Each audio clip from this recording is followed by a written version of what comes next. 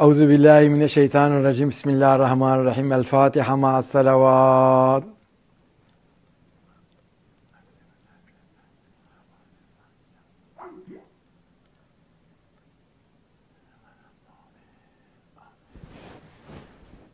Esselamun Aleyküm ve Rahmetullahi ve Berekatü.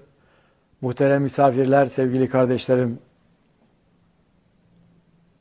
Mübarek üç aylar ve Regaib Kandili konulu konferansımıza hepiniz hoş geldiniz, sefalar getirdiniz. Allah hepinizden razı olsun. Mübarek üç ayların ne olduğunu zaten biliyorsunuz ama bir kere daha tekrar ederim. Recep ayı, Şaban ayı ve Ramazan ayı. Nebiler Sultanı Peygamber Efendimiz Recep ayı için Allah'ın ayı, Şaban ayı benim ayım ve Ramazan ayı ümmetimin ayı buyuruyor.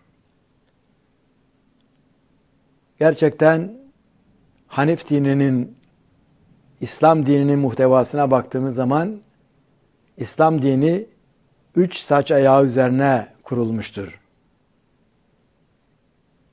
Vahdet Allah'ın tekliğidir. Tevhid tek cemaati oluşturmaktır. Ve teslim herkesin birbiri için yaşadığı ve mutlulukların en zirve noktasında bir hayat içinde hayatlarını yaşadığı bir dizaynı ifade ediyor.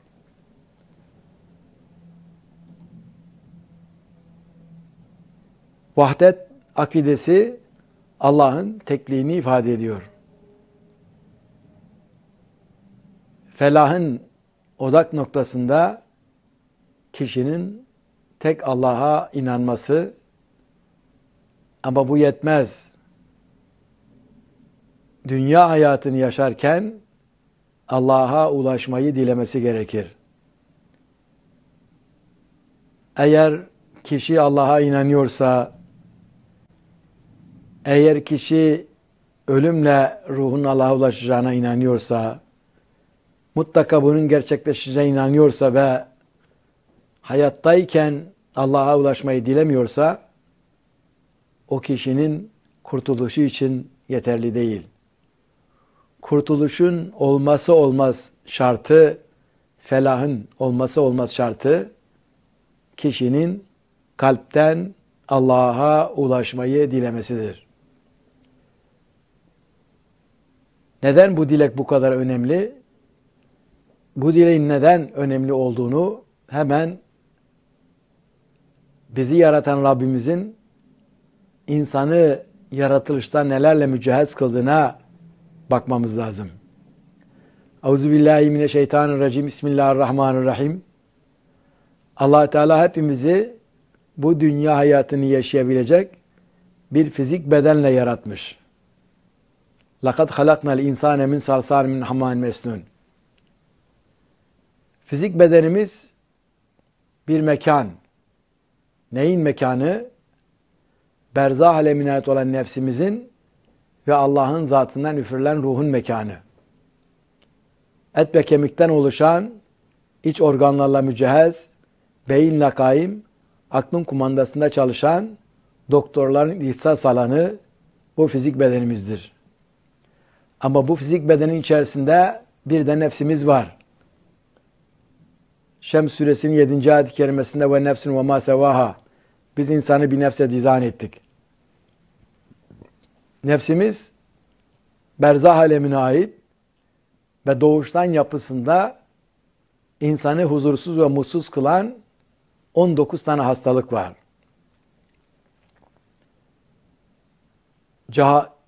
19 hastalıktan birincisi kin ve nefret, küfür, yalan, haksızlık ve zulüm, haset ve düşmanlık, cehalet, cimrilik, öfke ve gayz, isyan, sabırsızlık, kibir ve gurur, hırs ve şehvet, nankörlük, dedikodu, zan, kötü alışkanlıklar, vefasızlık, mürayilik ve fitne fesat olmak üzere 19 tane hastalık. 19 hastalığa da %100 tesir eden insanların ezeli ve ebedi düşmanı şeytan var. Muhterem misafirler, sevgili kardeşlerim, din sadece mutluluktur. Allah'ın dinle insanlara vermek istediği iki cihan saadetidir. Ama dini hayatımızın yaşanmasına engel olan baş düşman şeytandır. Şeytan ne zaman nefsimizin afetlerine tesir ederse, nefs afetleri aklı ikna ettiği zaman kişi şer işler ve derecet kaybeder ve hayatını bu şekilde geçirdiği zaman bu insan devamlı mutsuzluk üçgeni içerisinde hayatını sürdürür.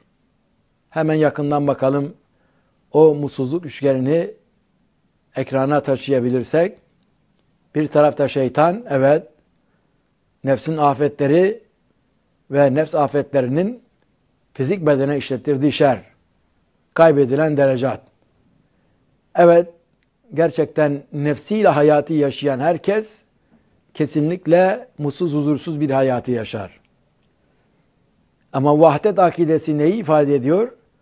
Vahdet akidesi tek Allah'a inanmayı ve kalpten Allah'a ulaşmayı dilemeyi. İşte nefsin manevi kalbinde afetler var. Ama kalpten başka bir dileğin sahibi olmamız lazım. O kişi kalbinden Allah'a ulaşmayı dilemesi gerekir. Baş düşman olan şeytan nefsin afetlerine yüzde yüz tesir ederek devamlı kişiyi Allah'tan uzaklaştırır. Ama allah Teala'nın bize gönderdiği peygamberler Adem Aleyhisselam'dan son Nebi Nebiler Sultanı Peygamber Efendimiz'e gelene kadar o peygamberlerle Allah'ın birlikte indirdiği kutsal kitaplarda Allah'ın bizler için tayin ettiği temel hedef emir iradesiyle o kişinin Allah'a ulaşmayı dilemesi. Evet, regaib kandili daha doğrusu mübarek üç aylar ve regaib kandili. Regaib kandili aynı zamanda hidayet günü. Hidayet ne? Hidayet insan ruhunun dünya hayatında Allah'a ulaşması. Ruhun Allah'a ulaşabilmesi için mutlaka kişinin bu kalbi dileğe sahip olması lazım. Yani kalpten Allah'a ulaşmayı dilemesi lazım. Bu dilek kişinin iradesinin tercihidir. Bir taraftan nefsin afetleri şeytanın etki alanı, öbür tarafta da kişinin iradesi. Eğer irade galip gelir de kişi Allah'a ulaşmayı dilerse o zaman o kişi için mübarek üç aylar başlar. Evet, tekrar ediyorum. Kalpten o kişi Allah'a ulaşmayı dilemedikçe o insan için mübarek üç ayların başlanabilmesi manasına uygun bir şekilde bu mübarek üç ayların geçirilebilmesi mümkün değil. Öyleyse eğer sizlere huzurunuzda mübarek üç aylar ve regaib kandili konulu konferansı icra ediyorsak, hepinizin bu içinde bulunmakta olduğunuz mübarek üç ayları Allah'ın emrettiği Nebiler Sultanı Peygamber ve sahabenin yaşadığı biçimde siz de yaşamak istiyorsanız olmasa olmaz şart kalpten Allah'a ulaşmayı dilemenizdir. Evet işaret ediyorum nefsinizin manevi kalbi. Belki şu anda ekranlarda daha doğrusu salonlarda bizi izleyen dinleyen siz muhterem misafirler sevgili kardeşlerim kalbimizde 19 afet varken bu pozitif dileği nasıl yapabiliriz? İşte marifet de o. Yani kişinin dilini kalbine indirmesi ve kalpten Allah'a ulaşmayı dilemesi gerekir. Şeytanın yüzde yüz etki ettiği 19 afetin bir tarafta yer aldığı ama öbür tarafta kişinin bütün bunları elin tersiyle iterek Rabbini dilediği, kalbinden Allah'a ulaşmayı dilediği bir dizayn söz konusu olduğu zaman Allah bu dileği kimin kalbinde görürse derhal 99 esmanın sahibi Rabbimiz kainatı yoktan var eden Allah Rahim esmasıyla tecelli ediyor. O zaman Allah kimin üzerine Rahim esmasıyla tecelli etmişse onun için üç aylar başlar. Mübarek üç aylar onun için başlar. Ama hayatı boyunca mübarek üç aylarından geçen o zaman dilimini yaşayan ama kalpten ulaşmayı dilemeyen bir insanın Allah Rahim esmasıyla tecelli etmediğine göre kesinlikle pozitif manada o kişinin nefsinin değişebilmesi mümkün değil. Kişinin hidayete erebilmesi bu dileğin sahibi olmasına bağlı.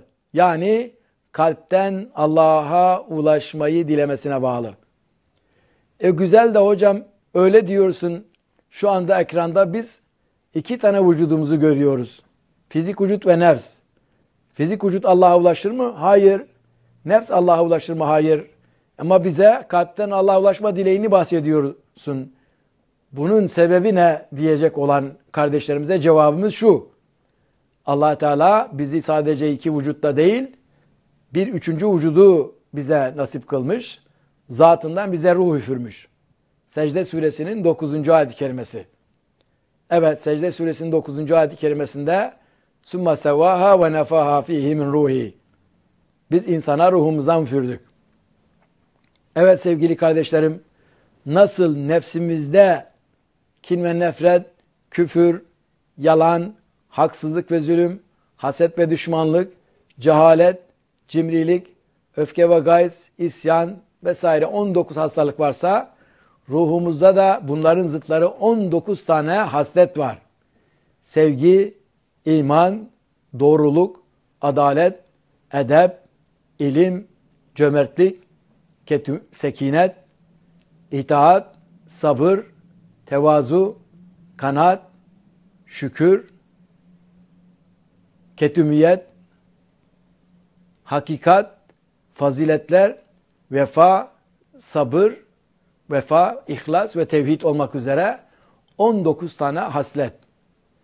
Öyleyse görüyorsunuz ki Allah'ın zatından bize üfürülen ruh başlangıç noktasında zaten Allah'a teslimdir.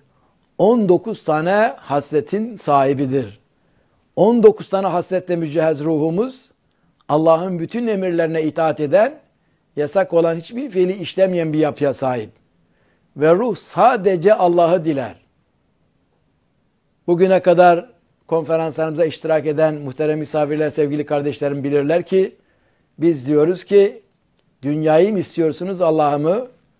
Herkesin cevabı Allah. Cenneti mi Allah'ı mı? Herkesin cevabı Allah. Kainatı mı Allah mı? Herkesin cevabı Allah.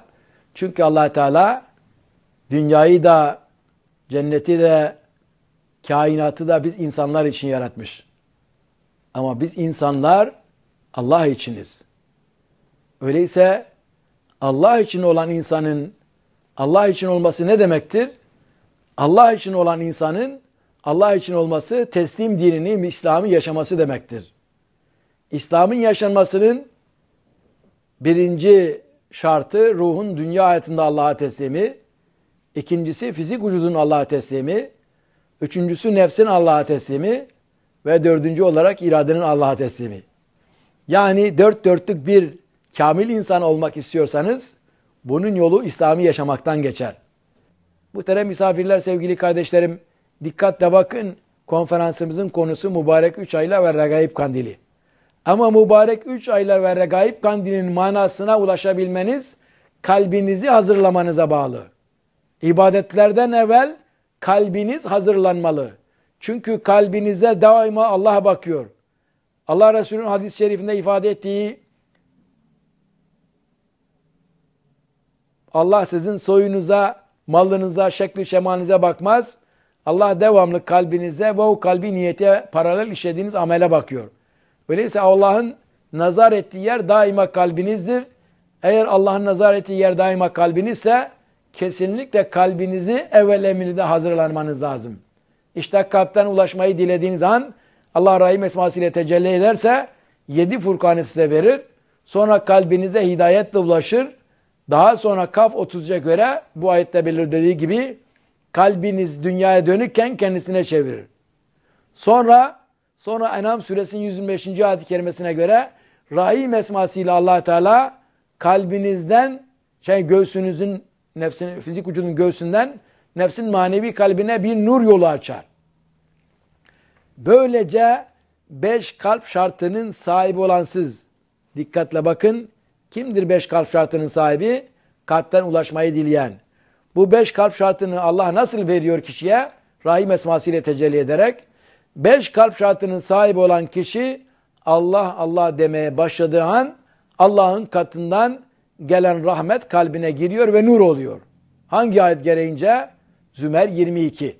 Zümer suresinin 22. ayet-i kerimesi Allah kimin göğsünü şer etmişse yani kimin göğsünden kalbine nur yolunu açmışsa o bir nur üzeredir. Öyleyse nur yolu açılan kişi Allah Allah demeye başladığı an Allah'ın katından rahmet o kişinin kalbine girer. Kalbine giren rahmet nurdur. O nurla o kişi huşu sahibi olur. Hadis suresinin 16. ayet-i kerimesi. Hadis suresinin 16. ayet-i kerimesinde nurun sahibi olan kişi huşu sahibi olur ve huşu sahibi olduğunuz an Bakara suresinin 45-46. ayet-i kerimesinde Perşembeyi Cuma'ya bağlayan gece hacet namazı kılıyorsunuz ve hacet namazıyla mürşidinizi Allah'tan soruyorsunuz. Dört rekatlık bir namazdır.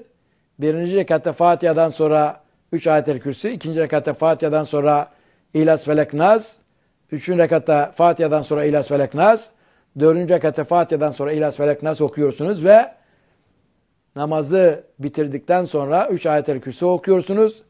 O gece yatağınızı kıbleye göre dizayn ediyorsunuz. Başınızı yastığın üzerine koyduğunuz an kalbinizin yine bakın kafanızın demiyorum kalbinizin atışlarına paralel Allah Allah demeye başlıyorsunuz. Çünkü allah Teala'nın dizayn ettiği, ıslah olmasını istediği şey kalbinizdir. Nebiler Sultanı Peygamber Efendimiz vücutta bir et parçası var. O ıslahtaysa saçınızın teli de vücudunuzun bütün uzuvları salahta. O ifsattaysa vücudun bütün uzuvları ifsatta. Nedir ey Allah'ın Resulü? Nebiler Sultanı Peygamberimizin cevabı o kalptir. Öyleyse din demek kalbi ıslah etmek, kalbinizdeki afetleri tamamen ibadetlerin sultanı zikirle temizlemektir. Evet din demek bu demek. Ama kalbinizin afetlerden temizlenebilmesinin anahtarı da bir dilektir. Kalpten Allah'a ulaşmayı dilemeniz. Kalpten Allah'a ulaşmayı dilemedikçe allah Teala hacet namazıyla size mürşidinizi göstermez ve mürşide tabi olmadıkça nefs eskiyesine başlayamazsınız. Salonlarda bizi izleyen siz muhterem misafirler, sevgili kardeşlerim. Yarın Regaib Kandili. Aynı zamanda Regaib Kandili bir hidayet günü. Tekrar ediyorum. Regaib Kandiliniz mübarek olsun. Hidayet gününüzü de tebrik ediyoruz. Hidayet ne? Hidayet insan ruhunun dünya hayatında Allah'a ulaşması. Öyleyse eğer yarın Regaib Kandilinde siz bu dileğin sahibi değilseniz o zaman Regaib Kandilini boşuna geçirdiniz demektir. İbadet yaparsınız, derecet kazanırsınız ama ölüme kadar bu dileğin sahibi olmadığınız an o yapa geldiğiniz ibadetin hepsi boşa gidiyor. Boşa gitmesini istemiyorsanız şimdiden sizi müjdeliyoruz. Mutlaka kalpten Allah'a ulaşmayı dileyin. Kim kalpten Allah'a ulaşmayı dileyerek geçirirse kesinlikle Allah ona üç tane cennet dünya saadetin yarısını müjdeliyor. Neden öyle diyorum? Çünkü bundan sonrası ona ait değil. Sadece dilek ona ait. Ondan sonrası yedi Furkan'ın verilmesi rahim esmasıyla Allah'a ait. Allah'ın o kişiyi 12 tane ihsanla mürşidine ulaşması yine Allah'a ait. Allah'ın ondan sonra bütün ibadetleri sevdirmesi yine Allah'a ait. Namazı sevdirmesi, orucu sevdirmesi, kendisine zor gelen ne ibadet varsa hepsini Allah'ın ona sevdirtmesi rahim esmasıyla Allah'a ait. Ve muhterem misafirler, mürşidinize ulaştınız. Nebiler Sultanı Peygamber Efendimiz size ruh verenler gelecek onları arayın bulun. Nasıl Allah'ı nerede arayacağız? Allah'ı kalbimizde arayacağız. Ama allah Teala Allah'ın yeryüzündeki temsilcisi ve mutlaka tabi olmamız istediği de mürşidi hacet namazıyla arayacağız. Çünkü ancak mürşide tabi olduğumuz an şeytanın hegemonyasından kurtuluruz. Allah Allah'ın Resulü hadiste diyor ki size ruh verenler gelecek. Onları arayıp bulun. Kim zamanın imamına tabi olmazsa o cahile standartlara yürülür. bize ruh verenleri bulmak için ne yapmamız lazım? Kalpten Allah'a ulaşmayı dileyip hacet namazı ile mürşidimizi aramamız lazım. Allah bize mürşidimizi gösterdi. Bakın mürşide tabi olduğumuz an, hacet namazıyla Allah'ın bize gösterdiği mürşide tabi olduğumuz zaman, yani Şaban ayını idrak eden birisi olduğumuz an, o zaman ne oluyor? Allah bize yedi nimet veriyor. Birinci nimet, slaytlarla gösterebilirsek, birinci nimet, devrin imamının ruhu allah Teala başımızın üzerine gönderiyor. Devrin imamının ruhunun başımızın üzerine gönderilmesi ne mana ifade eder? Sevgili kardeşlerim, kesinlikle dört cepheden artık bizim şeytana karşı korunduğumuzu ifade eder.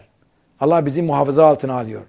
Bakın kimin başının üzerine devrin imamının ruhu geldiyse artık sihir büyü ona tesir etmez. Bakara 102. Delalette olanlar ona zarar veremez. Maide 105. Şeytan ona sıkıntı veremez. Mücadele 10. Musibetler isabet etmez. Tegabun 11. Yani devrin imamının ruhu geldiği zaman allah Teala o ruhla onu koruyor. Önden arkadan rahat 11. Hicr 88 ve şu ara 215'te sağdan ve soldan kanatlarını ger diyerek dört cepheden Allah onu koruma altına alıyor. Şu anda sorsam sizlere nasılsınız? Hepiniz belki diyeceksiniz ki hamd ve şükrü ederiz. Ama Allah'ın ininde şükrü makbul olanlar var. Ama diliyle şükredip kalbinde şükrü olmayanlar var. Nasıl oluyor hocam? Evet elbette. Bakın allah Teala Enam suresinin 53. ayet-i kerimesinde ne diyor? Enam 53'te diyor ki Allah'ın aramızda nimetlendirdikleri bunlar mı? Yani devrin imamının başının üzerine geldiği insanlar bunlar mı? Ve bakın Rabbimiz ne buyuruyor? Allah şakirtleri en iyi bilen değil midir diyor.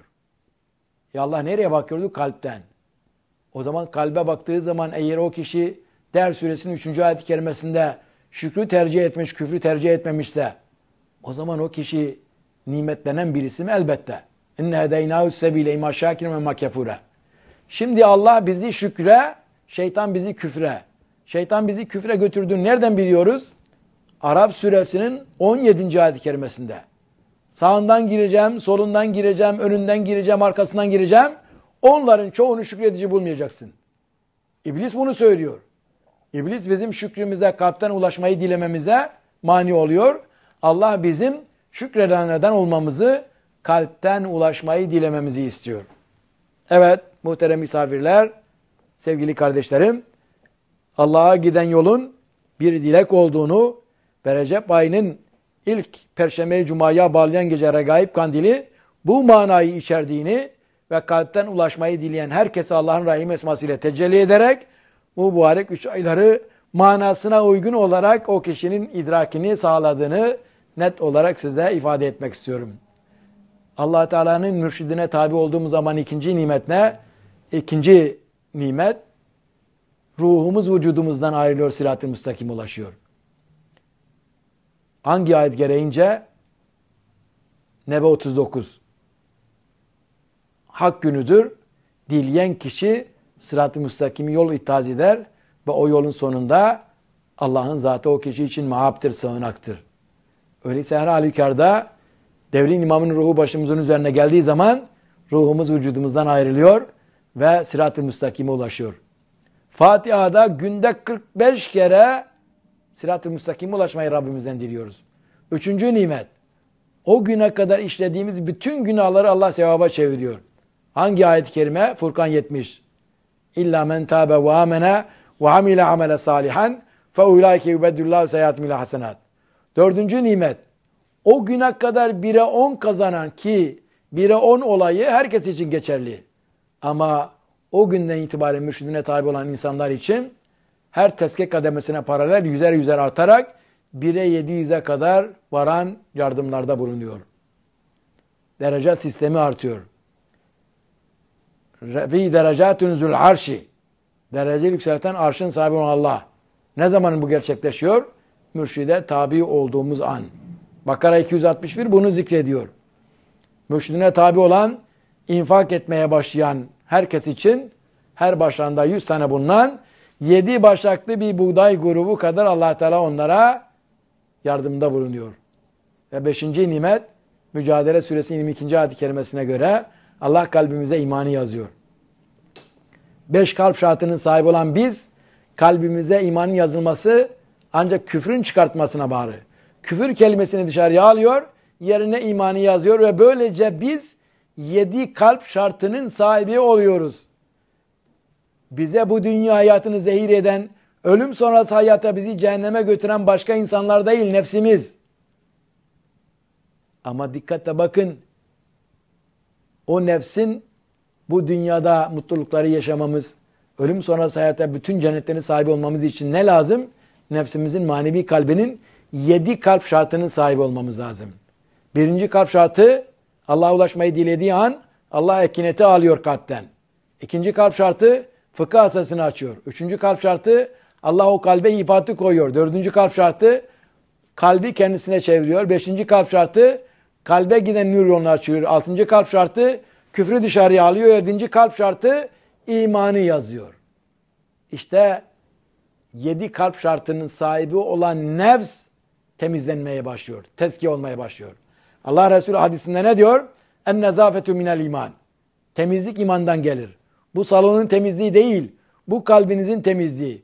Bu şeytanın etki ederek hayatı size zehir eden, etrafındaki insanları size düşman eden ve hiç devamlı mutsuzluklar içinde bir hayat yaşamasını sağlayan işte o kalbinizin temizliği. O kalp temizlendikçe etrafındaki insanları sevmeye başlıyorsunuz. Mutlulukları yaşamaya başlıyorsunuz ve çok kısa bir süre içerisinde ümmetimin ayı diye Nebiler Sultanı Peygamberimizin buyurduğu Ramazan ayına ulaşıyorsunuz. Ramazan ayına ulaştığınız zaman ruhunuzun Allah'a ulaşması söz konusu. Ne ile gerçekleşir? Yedi tane nimetle. Allah Resulü sallallahu aleyhi ve sellem Efendimiz'e indirilen Kur'an-ı Kerim'in Bakara suresinin 183. ayet-i kerimesine bakın ne buyuruyor. Ya eyyühellezine amenu kutibe aleykum siyamu kema kutibe alellezine min kablikum leallekum tettekun.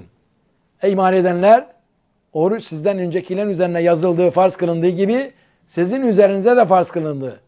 Umulur ki böylece siz takva sahibi olursunuz. Yani muhterem misafirler, sevgili kardeşlerim bu ayet takva sahibi olmadan tuttuğunuz oruçlar açlıktır. Takva sahibi olmadan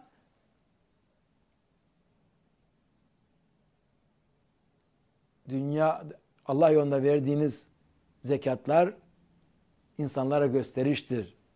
Takva sahibi olmadan kıldığınız namazlar gaflettir. Takva sahibi olmadan yapa geldiğiniz her ibadet ne yazık ki boşa giden bir ibadettir. Öyleyse olmasa olmaz şart takva sahibi olmanız. Allah Resulü hadisinde ne diyor? Eğer tuttuğunuz oruç sizi emanete ihanetten ve yalan söylemekten vazgeçirmediyse emanetler ruhumuz. Yani tuttuğunuz oruçlar ruhun Allah'a ulaşmanın sanısını sağlamıyorsa, emanete ihanetten sizi kurtarmıyorsa ve yalan söylemekten sizi kurtarmıyorsa, yani nefs eskesine başlattırmıyorsa sabahtan akşama kadar Allah'ın aç kalmanıza ihtiyacı yoktur. Ama ben inanıyorum bundan sonra mübarek üç ayları manasına uygun olarak hayatınıza bir can simidi şeklinde idrak ederek geçireceksiniz. Ama şartı ne? Kalpten ulaşmayı dilemeniz. Kalpten ulaşmayı dileyenlere allah Teala mutlaka hacet namazını kılmaları halinde 12 tane ihsanla onları mürşidine ulaştıracaktır. 14 asıl evvel Nebiler Sultanı Peygamber Efendimiz ve sahabeyi ifade ettiğiniz an karşımıza Tövbe suresinin 100. ayet kelimesi geliyor. Tövbe yüzde allah Teala ne diyor? O hayırlarda ile geçen sabikun eleni var ya onlar bir kısmı muhacirinden de bir kısmı ensardandı. Bir kısmı da ihsanla onlara tabi olanlardandı. Öyleyse anlıyoruz ki kesinlikle sahabe, tabi'in ve tebe-i tabi'in Kur'an'daki İslami yaşayan, asr-ı saadetin standartlarını en güzelliğinde yaşayan insanlar. Ama bir insanın onlar gibi asr-ı saadeti yaşayabilmesi mürşidine ihsanla, 12 tane ihsanla tabi olmasına bağlı. 12 ihsanın sahibi olan kişi regaib kandilinin manasına idra uygun idrak eden, kalpten ulaşmayı dileyen, hidayet gününü kalbine indiren kişidir. Dilinden kalbine indiren kişidir. Hayatınıza bir dönüm noktası dilemediyseniz kalpten ulaşmayı dileyin ve hemen peşinden Allah Allah diye zikreden sizler hacet namazı kılarak mürşidinize tabi olursanız o zaman Şaban ayının da idrakine varırsınız. Akabinde nefs tezkiyesi hemen gösteriyorum. Yedi kademede nefs tezkiyesine başlarsınız. Nefs tezkiyesinin yegane vasıtası ibadetlerin sultanı zikirdir. Yedi bin zikirle başlıyorsunuz, zikrinizi arttırıyorsunuz. Dokuz bin, on bir bin, on üç bin ve on beş bin. On beş bin zikirle nefsinizin manevi kalbine biriken nur miktarı yüzde yedi. Ama ruhunuz da birinci gök katına ulaşıyor. 17 bin zikirle ruhunuz ikinci gök katında. Nefsinizin manevi kalbindeki nur miktarı yüzde 14. 19 bin zikirle ruhunuz üçüncü gök katında. Nefsinizin manevi kalbindeki fazıl miktarı yüzde 21. 21 bin zikirle nefsiniz, ruhunuz dördüncü gök katında. Nefsinizin manevi kalbindeki temizlik yüzde 28. 23 bin zikirle ruhunuz beşinci gök katında. Nefsinizin manevi kalbindeki fazıl nur miktarı yüzde 35. Ve 25 bin zikirle ruhunuz altıncı gök katında. Nefsinizin manevi kalbindeki aydınlanma, nurlanma yüzde 42. Ve 33 bin zikirle ruhunuz yedinci gök katında. Nefsinizin manevi kalbindeki aydınlanma yüzde 49. Ve dikkatle bakın şu anda iki ayet-i kerimeyi sizinle paylaşmak istiyorum. Yedi kademedeki teskiyede ruhunuz yedi tane gök katı yükseliyor. Buna paralel nefsinizin manevi kalbi de yüzde 51 nurlanıyor. Yani ruh, kalbiniz temizlenmedikçe, nurlanmadıkça ruhunuz gök katlarına yükselemez.